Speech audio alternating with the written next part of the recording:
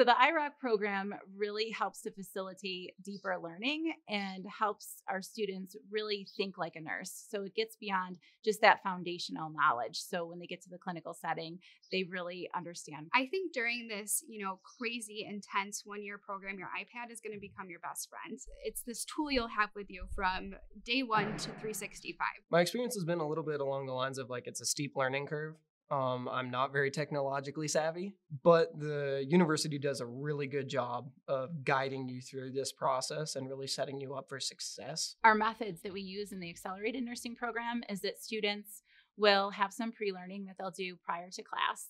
And then when they come to class, they're really able to apply what they've learned to higher level thinking. So maybe they'll do a case study, or um, maybe they'll be presented with a patient scenario or a simulation where then they have to um, really collaborate and work in groups to come to a decision so that they're really thinking about how to care for that patient while in the classroom setting like they would in the clinical setting. This program prides itself on being like group based.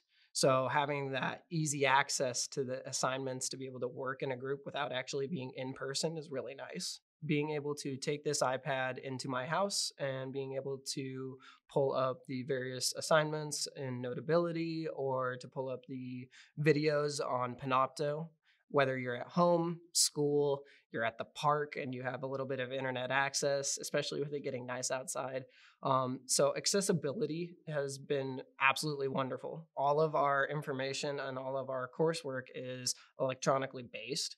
So, instead of carrying 12 books and breaking my back, I'm carrying an iPad and going ahead and having everything at my fingertips. I have taught in uh, the non iPad days where in lecture that looked like students just coming to three hour classes and sitting there, um, you know, maybe engaged, maybe not engaged, but really just getting all of this material dumped to them, right? They weren't able to really process as they were learning it. So now with the iPad, it's really great in the classroom and in labs because they can do and learn all at the same time. So really making those connections, 100% it makes them become a better nurse. You know, I think they're engaged, they're I think it helps with socialization on these units, right? That they're not as lost because they've already practiced what they're doing there. So they feel comfortable engaging with their clinical instructors, but also staff nurses or even leadership on the units. It's great having this dialogue about whiffs, what ifs, buts, ands, right? And really watching them connect the dots. It's really exciting to see them put it all together.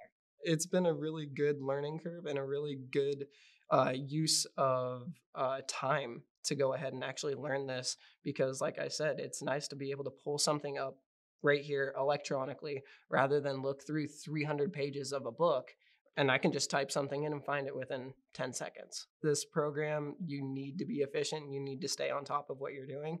And the iPad allows us to have that efficiency and to allow us to essentially succeed in this program. Because if it was all book based, I don't think that I would be doing nearly as well as what I am now.